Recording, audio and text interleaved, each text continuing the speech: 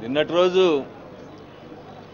రాష్ట్రంలో శాసనసభలో కరువుపైన చర్చ ఎంత పేలవంగా జరిగిందో మనం అందరం కూడా చూసాం కనీసం ఒక పది మందైనా లేకపోతే కనీసం ఒక ఐదారు మందైనా ఈ చర్చలో పాల్గొనడానికి అవకాశం వచ్చి ఉంటే బాగుండేది.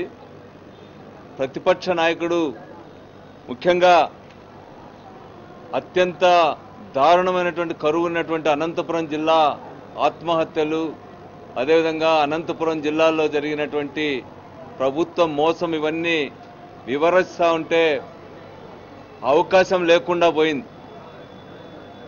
కరువు పైన పోయినసారి కూడా అంతే గత సంవత్సరం కూడా రాష్ట్రంలో తీవ్రమైన కరువు వస్తే ప్రతిపక్షాన్ని సస్పెండ్ చేసి కేవలం పంతొమ్మిది మందితో కరువు పైన చర్చించింది ప్రభుత్వం. ఈ సంవత్సరం కరువు సందర్భంగా కనీసం ఈ రాష్ట్రంలో రైతాంగం ఎదుర్కొంటున్నటువంటి సమస్యలకు కనీస పరిష్కారం చూపేటువంటి పద్ధతిలో అయినా సమాధానం ఉంటుందని చెప్పి భావించాం.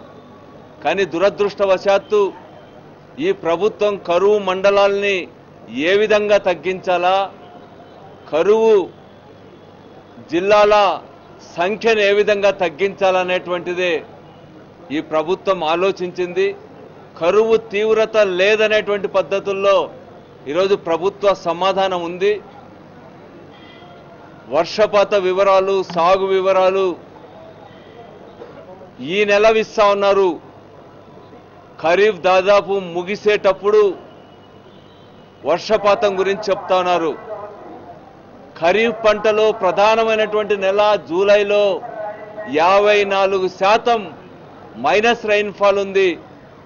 జూలైలో విత్తనం వేసిన తర్వాత యాభై నాలుగు శాతం రైన్ఫాల్ తక్కువగా ఉంటే ఖరీఫ్ అంతా కూడా విఫలమైనట్టే దాదాపుగా. కానీ ప్రభుత్వం ఈరోజు కేవలం రెండు వందల యాభై ఆరు మండలాల్లో మాత్రమే కరువు పరిస్థితులు ఉన్నాయన్నట్టుగా చెప్తా ఉంది.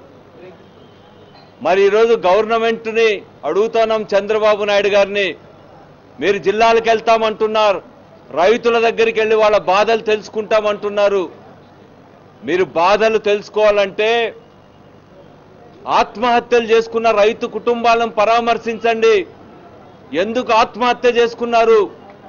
మీ ప్రభుత్వం ఇచ్చినటువంటి రుణమాఫీ హామీ ఏ విధంగా వాళ్ళ కుటుంబాలను దెబ్బతీసింది? అదేవిధంగా మీ ప్రభుత్వ వైఫల్యాలన్నీ కూడా అర్థమవుతాయి. మీకు రైతు ఆత్మహత్యల గురించి పరామర్శించే ధైర్యం ఉందా అని చెప్పి ఈ సందర్భంగా అడుగుతా ఉన్నా. అదేవిధంగా ఈరోజు మీరు జిల్లాలకు పోతా అంటున్నారు పల్లెలకు పోతా అంటున్నారు కానీ మీరు చేయాల్సిన పని చేస్తున్నారా అని చెప్పి మేము ఈ సందర్భంగా అడుగుతా ఉన్నాం. పోయిన సంవత్సరం చూసాం కేవలం పదహైదు లక్షల టన్నులు కూడా ఈరోజు ఎంఎస్పి ఇచ్చి కొనలేకపోయింది ప్రభుత్వం. ప్రభుత్వం రైతుల నుంచి కొనుగోలు చేసి మార్కెట్లో కనీసం ఎంఎస్పి అందించడంలో గత సంవత్సరం కేవలం పదహైదు లక్షల టన్నులు మాత్రమే బి ధాన్యాన్ని కొనుగోలు చేసింది. దాన్ని కూడా సీజన్ అయిపోయిన తర్వాత మధ్య దళారుల నుంచి కొనింది తప్ప రైతులకు ఇప్పించలా రైతుల నుంచి నేరుగా కొనలా ఈ ప్రభుత్వం. అదేవిధంగా కాటన్కు సంబంధించి వేరుశెనగకు సంబంధించి ఎక్కడ కూడా ఎంఎస్పి ప్రైజ్ ఇచ్చి గవర్నమెంట్ కొనడం అనేటువంటిది ఎక్కడ కూడా చేయలేదు ఈ ప్రభుత్వం. అదేవిధంగా ఎంఎస్పి ఫిక్సేషన్ విషయంలో కూడా ఈ ప్రభుత్వం కనీసమైన చొరవ చూపల. మొత్తం రైతాంగం కష్టపడి కరువు కాలంలో కూడా పండించి ఉత్పత్తి చేస్తే దానికి ఎంఎస్పి రేట్స్ నిర్ణయించ చేయడంలో కూడా కేంద్రం పైన ఒత్తిడి తేలేకపోయింది.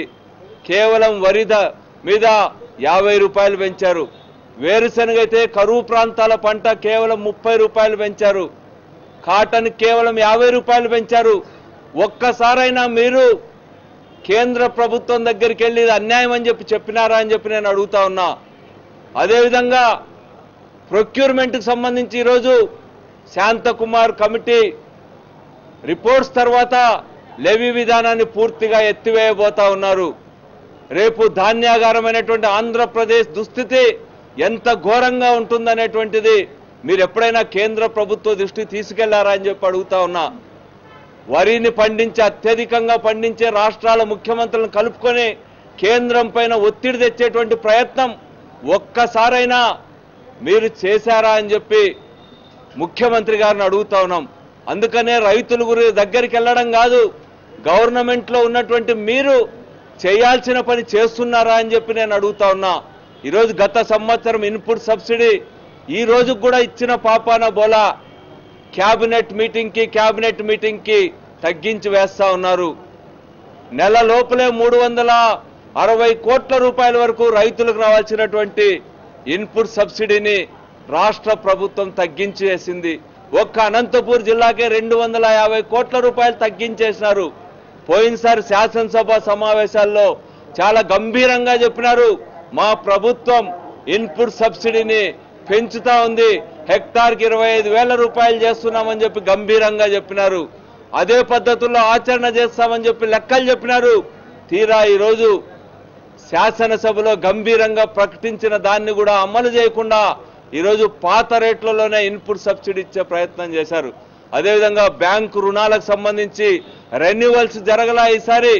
ఈ రాష్ట్ర చరిత్రలోనే ఈరోజు లక్ష్యాల కంటే అతి తక్కువగా ఏ విధంగా బ్యాంక్ లోన్స్ ఇచ్చారనేటువంటిది మా జగన్ గారు నిన్నటి రోజే వివరించినారు.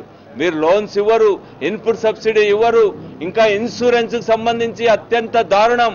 అనంతపురం జిల్లాలో పోయిన సంవత్సరం తొంభై ఐదు వేల మంది వాతావరణ బీమా కింద ఇన్సూరెన్స్ చేస్తే కేవలం నలభై ఐదు వేల మందికి ముప్పై ఐదు కోట్ల రూపాయల ప్రీమియం కడితే ఈరోజు ఇన్సూరెన్స్ కంపెనీ ఇచ్చింది ఎంతంటే కేవలం ఇరవై ఐదు కోట్ల రూపాయలు మాత్రమే ఇచ్చింది. ఈరోజు ఇన్సూరెన్స్ చేసుకునేటప్పుడు సాగు చేయకపోయినా ప్రీమియం కట్టించుకొని తీరా క్లెయిమ్స్ పరిష్కారం చేసేటప్పుడు మాత్రం సాగైన దానికే ఇస్తామని చెప్పి చెప్తా ఉన్నారు. అందుకనే ఈరోజు ఒక్క అనంతపూర్ జిల్లాలోనే పన్నెండు మండలాల్లో కేవలం ఒక్కరికి ఇద్దరికి ఇన్సూరెన్స్ ఇవ్వడం జరిగింది. ఆ విధంగా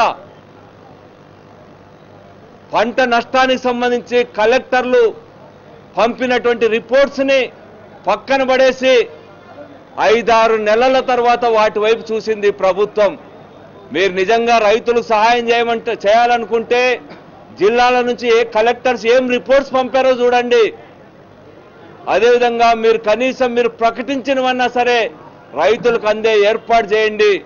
పోయిన సంవత్సరం కరువు వస్తే ఈ రోజు కూడా రెండు వందల యాభై కోట్ల రూపాయలు విడుదల చేసి దాన్ని కూడా రైతులకు అందించకుండా మేము రైతుల యాత్రలు చేస్తామనేది. ఇది రైతులని ప- కరువుకి పరిష్కారం చెప్పి వాళ్ళకి భరోసా ఇచ్చే యాత్రలు కాదు ఇవి రైతులపైన దండయాత్ర తప్ప చంద్రబాబు నాయుడు గారు చెప్పేది మరొకటి కాదనేటువంటిది స్పష్టం చేస్తున్నాం. అదేవిధంగా నిన్నటి రోజు కరువు సందర్భంగా మరి అంతకు ముందు రోజు మూడు ముక్కాల వరకు భోజనం పెట్టకుండా జరిగినటువంటి సమావేశం రెండవ రోజు కరువు పైన కనీసం ఒక్కొక్క పార్టీకి ఒక్కరికి కూడా అవకాశం లేకపోవడం అనేటువంటిది కరువు పైన ఈ ప్రభుత్వం అనుకున్నటువంటి చిత్తశుద్ధి అర్థమవుతుందని చెప్పి తెలియజేస్తారు